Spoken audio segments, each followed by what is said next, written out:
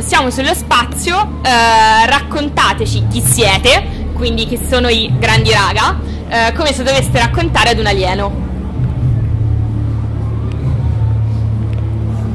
Bene, noi siamo i grandi raga, siamo cinque umani che vivono nella Terra e facciamo musica e musica è un, eh, un miscuglio di suoni, di vibrazioni, rumori, di onde sonore, di cose stupide tutte insieme, di molto bello che ci piace fare nella Terra.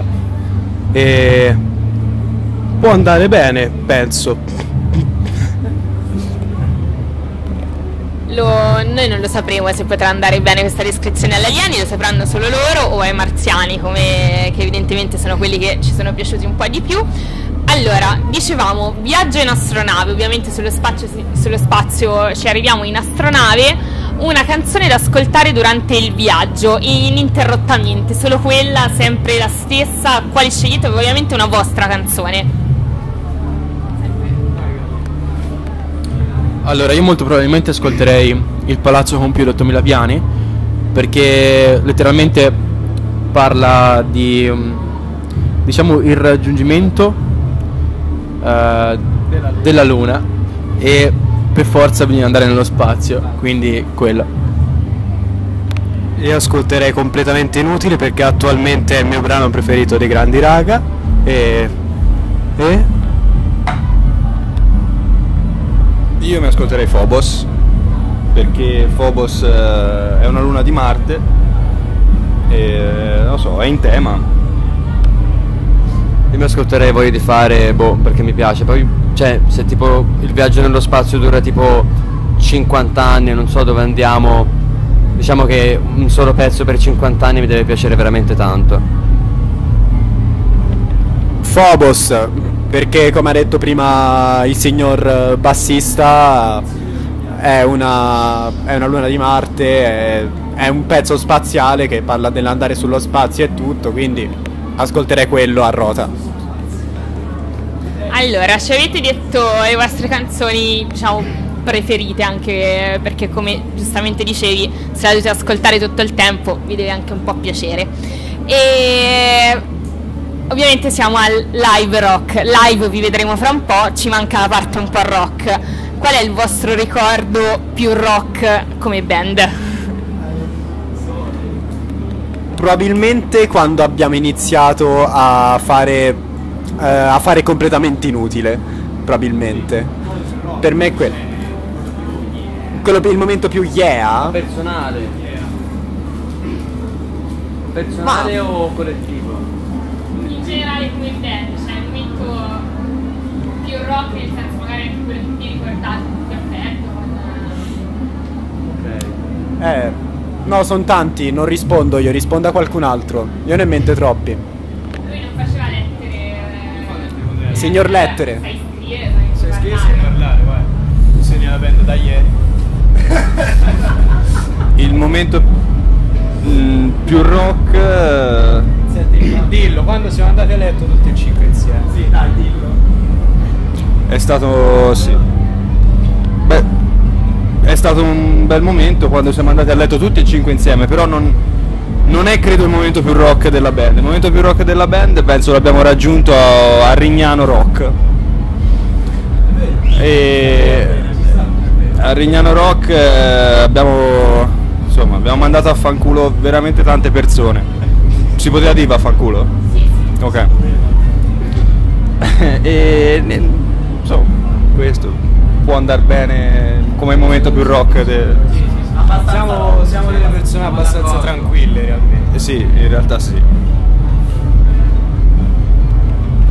Vai, allora ora che abbiamo scelto il momento rock, passiamo a uno degli aneddoti che è rimasto nella memoria collettiva a riferimento al primo allunaggio, che è la famosa foto del primo allunaggio, ok? Tutti abbiamo in mente eh, bandierina, viene posizionata, eh, primo- prima impronta. Pensate, allora, siamo molto social, cioè questa intervista uscirà sui nostri social, quindi subito ci viene da pensare a una foto, un fermo immagine. Qual è la vostra foto che associate al momento in cui avete capito che potevate farcela come band e che comunque sia quel sogno poteva un po' concretizzarsi?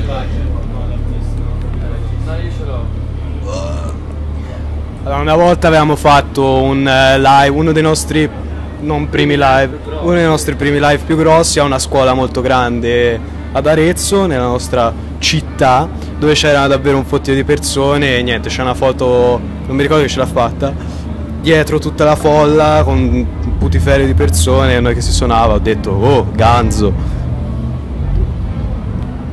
O anche noi in mutande che ci indichiamo davanti a- allo studio. Anche quello devo ammettere che sarebbe bello vederlo nel- nella- nel- nell'immagine ora. Un bel gatto magari. Anche un culo nudo. Sì, è un gattino, è un gattino carino. Noi possiamo attivarci sul gattino carino, se, se volete possiamo provarci. Un gattino carino. Fa cose da umano. Gattino, ok. Colore abbiamo una preferenza grigio. Pelo lungo. Tip certo, quindi occhi arancioni. Perfetto. Ci attiveremo, segnate per favore, grazie. Allora, ci avete raccontato un po' di voi, però parliamo anche un po' di musica. Per capire chi siete abbiamo bisogno di sapere qual è la canzone che ascoltate mentre piangete, quella che ascoltate mentre ridete, quella che ascoltate mentre fate l'amore perché noi siamo romantici e perché sesso è brutto. Un attimo, quali erano? Aspetta, era quando ridete, quando piangete, quando facciamo l'amore. Allora, quando rido mi ascolto Splash di Colapesce di Martino. Eh, quando sono triste mi ascolto. Non è una canzone precisa, ne ho tante, ma in generale quando piango ascolto Chiello. Quindi sì. E quando faccio l'amore via le Santissima Trinità dei Post Nebbia. Allora, canzone triste, Love Paranoid di Tame Impala e canzone mentre rido, a me mi piace blues di Pino Daniele e non faccio sesso. Allora, una canzone. una canzone che ascolto e mi fa prendere bene è pop porno. Eh, la canzone che mi fa piangere. L'unica canzone che è riuscita a farmi piangere è The Universal dei Blur. Qual era l'altra? E poi fai sesso. Ah, quando faccio sesso. Eh...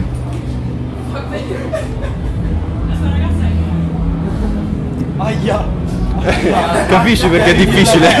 Capisci perché è difficile? eh, chiedere un aiuto dal pubblico. Dai, We Will Rock.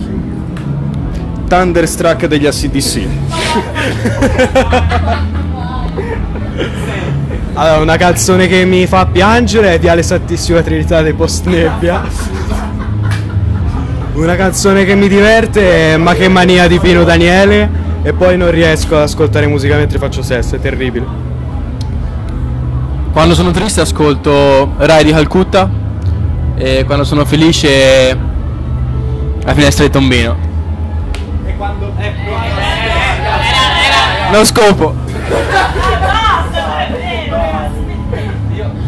Allora, prima di lasciarvi andare sul palco, perché in realtà mancano pochi minuti, eh, non so se lo sapete, eh, non vi volevo mettere ansia, eh, però ultima domanda velocissima. Fra 20 anni la vostra capsula viene aperta e le persone che la aprono cercano il vostro nome online. Qual è il titolo del primo articolo che trovano?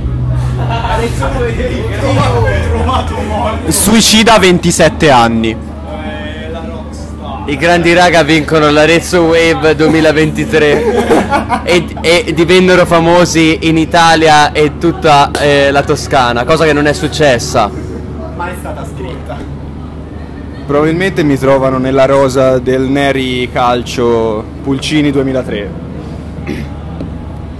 Mi trovano in un volantino di teatro di quando avevo 8 anni. Via vai, per l'esattezza. Credo sì, i grandi raga vincono Arezzo Wave. E basta, perché c'è solo quello. Siamo boh, tristi. Cioè, quindi ci fermiamo a qui, neanche i grandi raga partecipano al Live Rock 2024, cioè proprio siamo all'anno prima praticamente. ok, perfetto. Allora, io direi che vi ringrazio, vi lascio andare al vostro live e ultima domanda, che è quella che chiediamo sempre a tutti, concerti, non so se lo sapete, ma quando inizia i concerti, concerti qui al Live Rock ci sono due persone che dopo sentirete che sul palco danno un buonasera acquaviva. Quindi noi vi chiediamo di fare un buonasera al Live Rock Festival, un vostro saluto al Live Rock Festival prima di salutarvi e prima di darvi un bocca al lupo prima di salire sul palco. Quindi un saluto al Live Rock. Ciao!